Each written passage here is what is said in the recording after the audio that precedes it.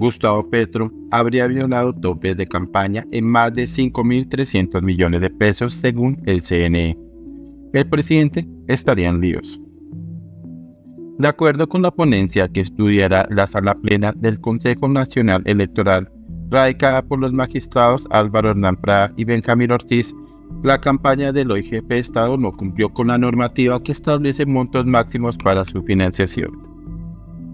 Con la determinación de los magistrados del Consejo Nacional Electoral CNE, Álvaro Hernán Prada y Benjamín Herrera, de presentar ante la sala plena del organismo rector pliego de cargos contra el hoy presidente de la República, Gustavo Petro, por lo que habría sido la financiación irregular de su campaña a la Casa de Nariño en 2022. También quedó al descubierto el monto de lo que habría sido la violación de topes en su como jefe de Estado.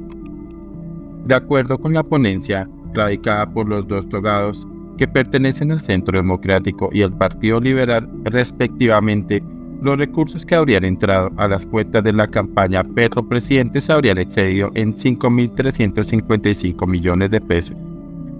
De estos, 3.709 millones de pesos se registraron en la primera vuelta, mientras que en la segunda vuelta se reportaron ingresos por encima de los topes por 1.646 millones de pesos. En su ponencia, tanto Prada como Herrera relacionaron los aportes que habrían sido ocultados de organizaciones sindicales, como la Federación Colombiana de Educadores PECODE, de 500 millones.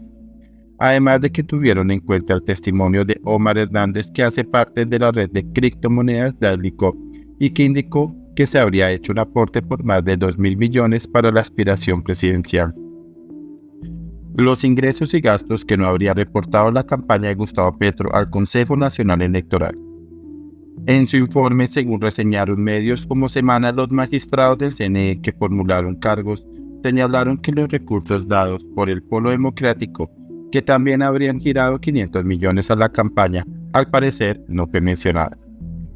Como tampoco se reportó el pago a cerca de 36 mil testigos electorales, del orden de los 931 millones, ni los gastos de propaganda electoral que estarían cercanos a los 356 millones.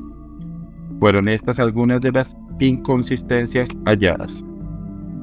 Llama la atención que en el aplicativo Cuentas Claras, que es el que relaciona los ingresos y gastos de las campañas electorales y que sirve insumo al Consejo Nacional Electoral para hacer revisión, no aparece relacionado los servicios de transporte aéreo por 1.249 millones en la primera vuelta y 962 millones en la segunda. Es decir, casi la cifra mencionada por el testigo Hernández de lo que habría sido el aporte de Cop a esta campaña.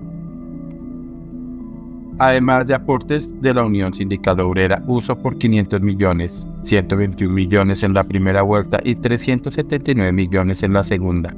ni los pagos hechos por la coalición del Pacto Histórico desde la campaña al Congreso por 202 millones.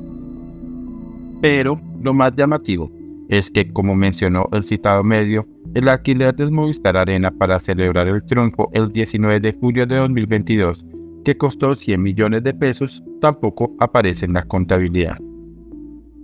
Cabe destacar que la formulación de cargos que ha propuesto a sus colegas los magistrados Prada y Herrera también involucra a Ricardo Roa Barragán, que ofició como gerente de la campaña a la presidencia y que en la actualidad ejerce como presidente de la estatal Ecopetrol además de María Lucy Soto y Juan Carlos Lemus,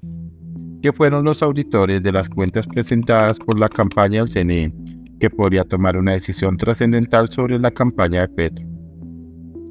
Asimismo, se abstendría de involucrar al proceso a Luz y de Mogollón Alfonso en su condición de tesorera de la campaña, pues a juicio de los magistrados no estaría involucrada en lo que sería la violación de los límites electorales en la campaña a la presidencia.